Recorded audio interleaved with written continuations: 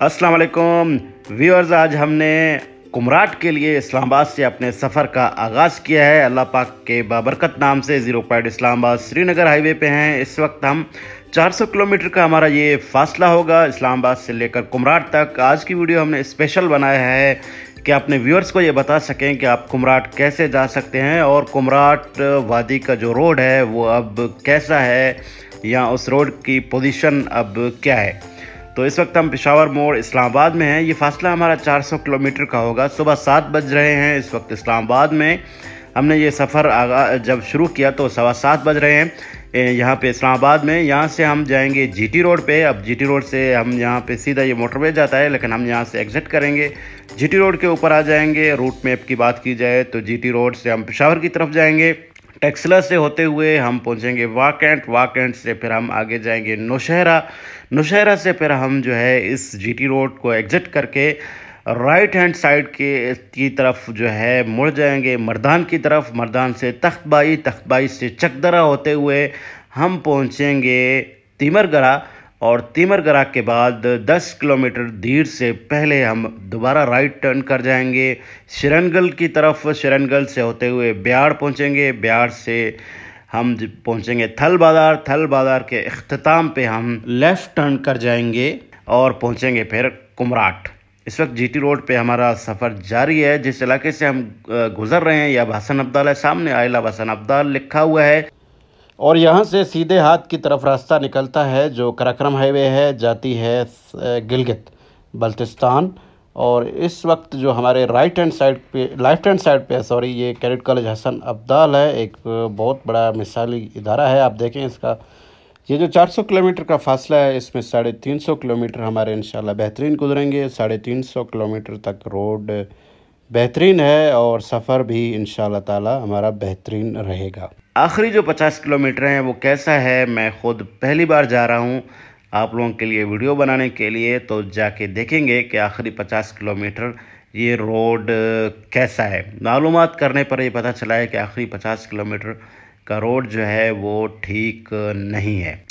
तो इस वक्त हम वाकेंट से गुज़र रहे हैं और इन ताला दरख्तों का बड़ा ज़बरदस्त जीटी रोड पे सीन है। दोनों तरफ़ सफ़ेदे के दरख्त हैं और रोड को बड़ा ज़बरदस्त सा लुक दे रहे हैं।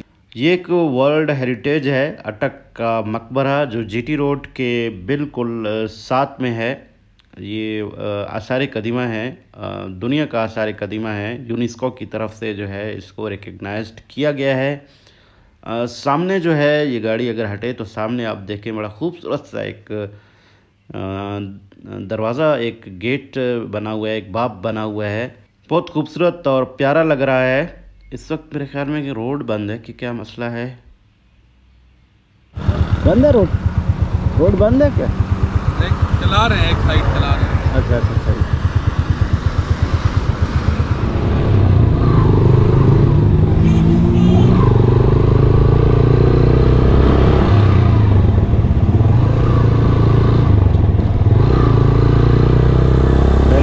खैबर पख्तूनखा का बोर्ड लगा हुआ है। इस वक्त हमारे सीधे हाथ पे, मेरे ख्याल में यहाँ से अब खैबर पख्तूनखा सुबह स्टार्ट हो चुका है। पीछे पंजाब था, पंजाब अब गुजर चुका है।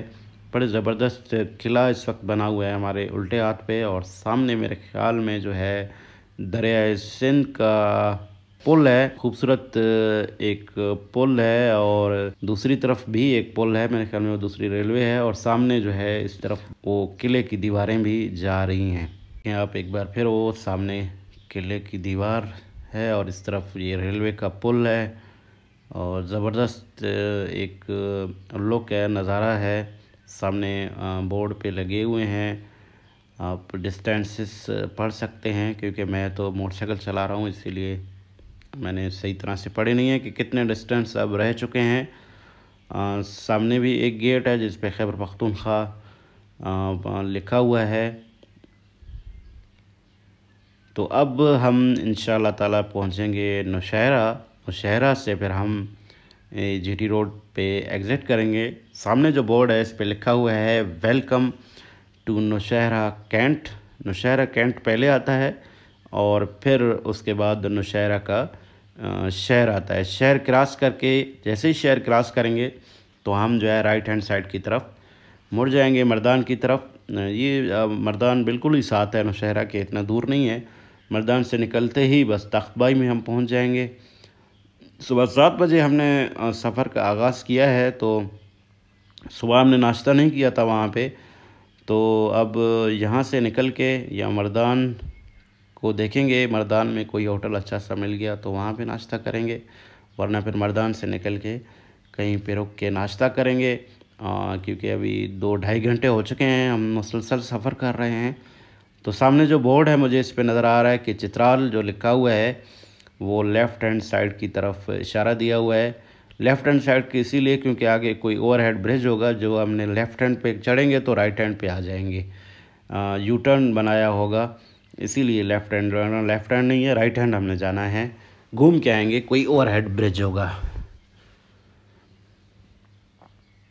तो ये अब हम, मुड़ के आ गए हैं। ये मर्दान अभी आने वाला है और मर्दान को हम देखेंगे कि यहाँ पे तो मुझे कोई नज़र नहीं आ रहा है। ऊपर जो है मोटरवे है एम वन जो पुल आप देख रहे हैं, जिसके नीचे से अब हम जाएँगे। और आप मोटरवे के ज़रिए भी आ सकते हैं, क्योंकि मेरे पास बाइक है तो मोटरवे पे बाइक को नहीं छोड़ते हैं। तो इसीलिए ये बाइक पे नहीं, वैसे आप गाड़ी पे आ रहे हैं तो मोटरवे सवात एक्सप्रेस वे से आएँगे, जो चकदरा से एग्ज़िट करेंगे, मैं आपको बताऊँगा, वहाँ से फिर रोड सेम है। ये बाईपास है असल में मर्दान का, सामने मर्दान शहर था तो अभी ये बाईपास मेरे ख्याल में बना है। मैं पहले आया था तो ये बाईपास नहीं था तो अभी शायद ये बाईपास बना है। बाईपास इख्तियार करके अब हम तख्त बाई शहर पहुँच चुके हैं। मर्दान शहर नहीं गए हैं, जिसकी वजह से अच्छा हुआ, रश से भी बच गए और हम जल्दी जो है तख्त बाई पहुँच चुके हैं। तो अब यहाँ पे जो है नाश्ता करते हैं। जैसे ही कोई अच्छा सा होटल नज़र आता है तो नाश्ता करके अपने सफ़र को आगे बढ़ाते हैं। थोड़ा सा रेस्ट भी करेंगे। मुसलसल हर तीन घंटे बाद, ढाई घंटे बाद रेस्ट ज़रूरी है। ये एक होटल नज़र आ रहा है मुझे। यहाँ पे जो है नाश्ता करते हैं, बाइक खड़ी करके और फिर सफ़र को आगे बढ़ाते हैं। तो यहाँ पे हमने जल्दी से इसको बोला कि एक रोटी ले आए और साथ में जो है इन्होंने मलाई एक दिया था जो उन्होंने ख़ुद यहाँ पे बनाते हैं शायद।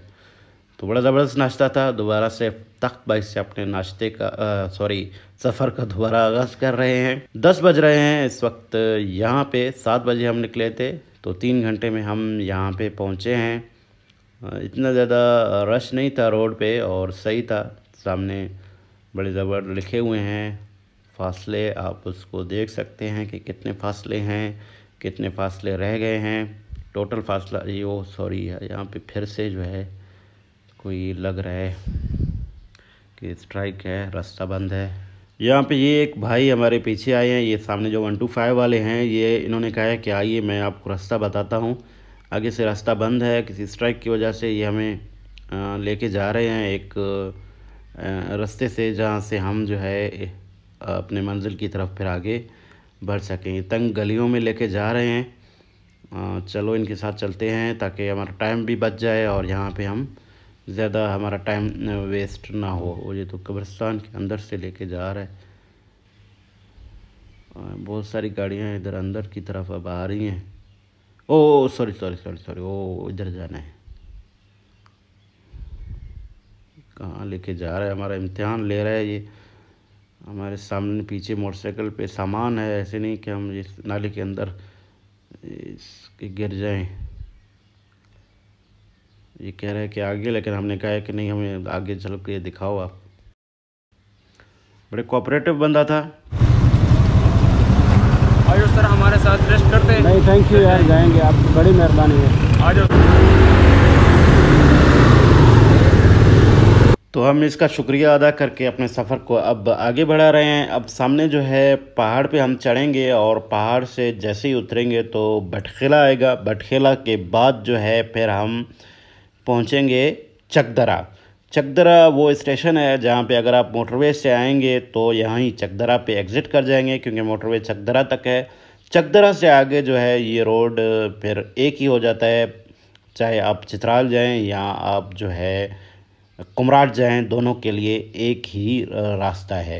लेकिन कुमराट जाने के लिए हम जो आपको मैंने बताया है पहले भी कि हमने धीर से दस किलोमीटर पहले अंदर राइट टर्न करके जाना है। तो ये बटखेला हमने क्रॉस कर लिया है और अब हम जो है चकदरा पहुँचने वाले हैं। ये जो जंक्शन है सामने आप देख रहे हैं, ये है मोटरवे एग्ज़िट जंक्शन। यहाँ पे मोटरवे ख़त्म हो जाता है, सीधा आप जाएँगे, इस तरफ़ मोटरवे है, सीधा आप जाएँगे तो सवात है और यहाँ से लेफ़्ट अगर आप गाड़ी को रखेंगे तो आप जाएँगे चकदरा की तरफ़। तो ये जो मोटरसाइकिल आप आया है तेज़ी के साथ ऊपर से तो आप अगर इस्लामाबाद से आ रहे हैं तो आप यहाँ पे आ जाएँगे, यहाँ पे उतरेंगे। इस वक्त दरिया सवात का ब्रिज है ये। दरिया सवात खूबसूरत मंज़र एक पेश कर रहा है, लेकिन हम जल्दी में हैं, इसीलिए दरिया सवात पे नहीं रुक सकते हैं, इसको देख नहीं सकते हैं। हमारा सफ़र बहुत लंबा है। ये बाब दीर है और दीर यहाँ से स्टार्ट हो जाता है, इसीलिए यहाँ पे एक बाब लगाया गया है। यहाँ पे मेरे ख्याल में चेक पोस्ट हुआ करता था, अब ख़त्म हो चुका है। सामने वेलकम टू चकदरा लिखा हुआ है।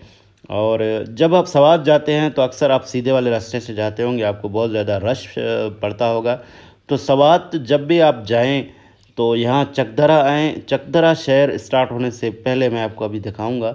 लेफ़्ट हैंड साइड की तरफ़ आप कबल से जाइएगा, ये सामने देखें। यहाँ अंदर से। ये रास्ता इंतहाई जो है, इस पर कोई रश नहीं और बेहतरीन रास्ता है। यहाँ से आप जो है, सीधा सवात जाके मैंगोरा निकलेंगे। बगैर किसी रश के उस रोड पे जो आप जाते हैं नॉर्मली, उस पर बहुत ज़्यादा रश होता है, आपका टाइम ज़्यादा ज़ाया होता है। तो चकदरा आएँ। चकदरा बिल्कुल साथ है, मोटरवे से जैसे ही एग्ज़िट करते हैं तो दस मिनट का फासला है। सामने फासले दोबारा लिखे हुए हैं। देख सकते हैं आप के का कितने फासले हैं। तो चकदरा मोटरवे से चकदरा दस किलोमीटर का फासला है। उसके बाद आप जो है कबल की तरफ़ मुड़ जाएँ। अभी जो है चकदरा के बाद से दरिया चित्राल जो है अभी हमारे साथ चलेगा धीर तक। धीर के बाद फिर हम अंदर हो जाएँगे। तो दरियाए पंचकोड़ा मेरे ख्याल में कहते हैं, जो ले जो चलती है फिर कुमराट तक हमारे साथ। तो ये इस वक्त दरिया चित्राल हमारा हम सफ़र हो गया है। दरिया चित्राल के साथ चलेंगे धीर तक। और फिर जो है हम टर्न कर जाएँगे तो दूसरी दरिया, अभी दरियाई दरिया है इस वो हो सॉरी फिर से जो है ना रोड मेरे ख्याल में यहाँ बंद है। क्या है आज? लेकिन किस्मत बहुत अच्छा है, हम निकल के आ रहे हैं। दो जगह रोड बंद था, हम दोनों जगह से निकल के आ गए हैं और अब यहाँ से भी निकलेंगे। ये एक पुलिस वाला खड़ा है तो इसके पास चलते हैं और पूछते हैं कि यहाँ पे कोई और दूसरा रोड हमें बताए, हम जाएँ। रास्ता नहीं है दूसरा? क्या ठीक ठीक? क्या वो। और रास्ता बताएँ ताकि हमारा टाइम ज़ाया ना हो आप वापस करो मैं आपको बताता हूँ। जी जी।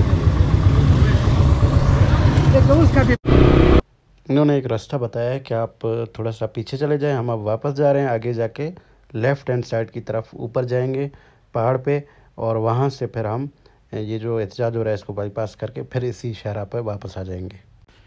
यहाँ से हम हाईवे के छोड़ के उल्टे हाथ पे गए हैं तो एक अच्छा सा खूबसूरत सा रोड बना हुआ था, छोटा सा है, लेकिन बड़ा खूबसूरत रोड है। यहाँ से हम फिर जो वो थे, जो एहतजाज पर बैठे हुए थे, ये यहाँ पे ये मेन हाईवे पे यहाँ पे निकले हैं। वो पीछे एहतजाज कर रहे हैं लोग, हम उनको बाईपास करके आ गए हैं। तो सफ़र को आगे बढ़ाते हैं हम, और अपने सफ़र की तरफ़ चलते हैं। अल्दो के टाइम हमारा इतना ज़ाया नहीं हो रहा है, लेकिन हम जब अंदर से घूम कर आते हैं तो ज़ाहिर है इसमें से 20-25 मिनट जो है वो ज़ाया हो जाते हैं। चित्रौल 179 और 63 किलोमीटर जो है वो धीर रह गया है।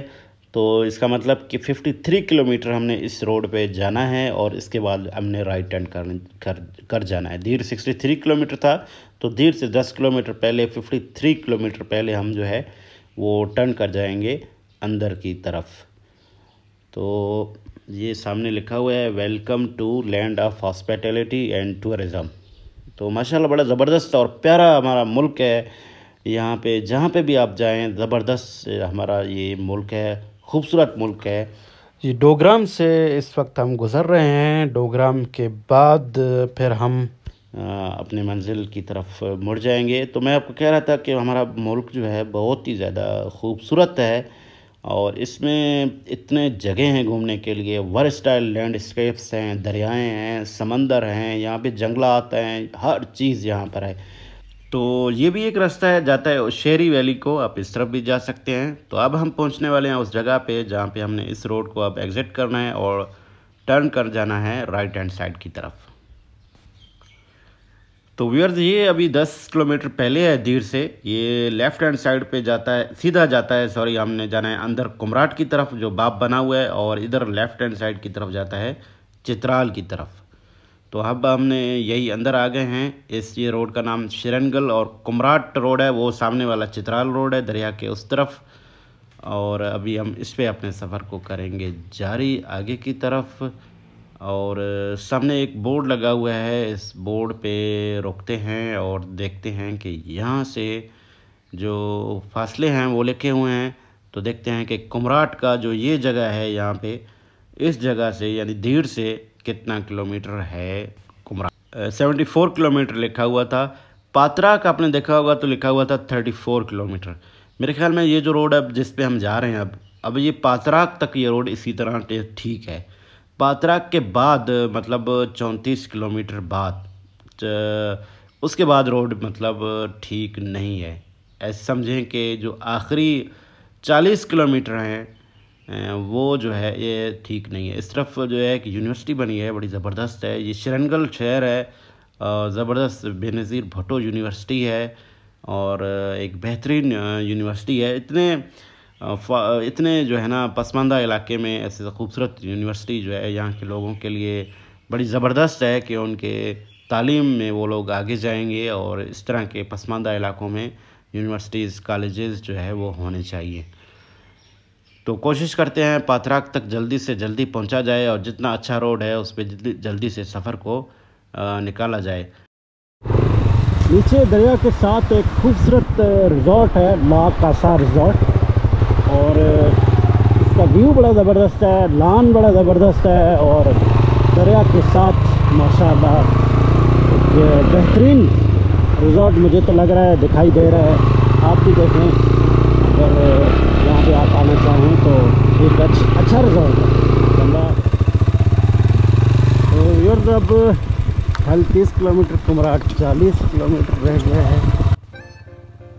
अच्छा रोड अब ख़त्म हो चुका है।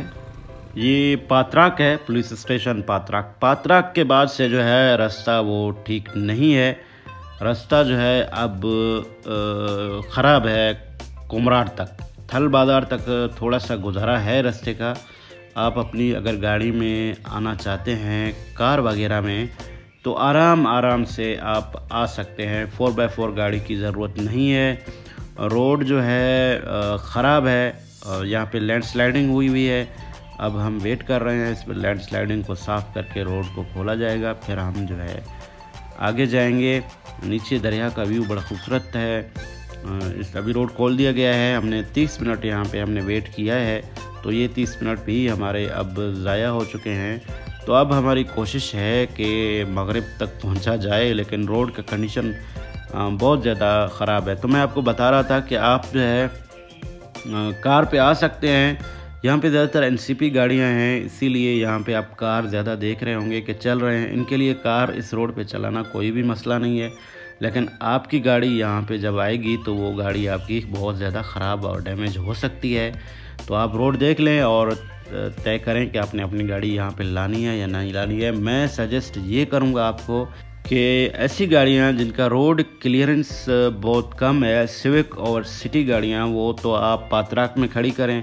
और वहाँ से गाड़ी लेके टैक्सी वगैरह करके आप आगे कुमराट या जहाज़ बांडा जहाँ जाना है वहाँ जाएँ।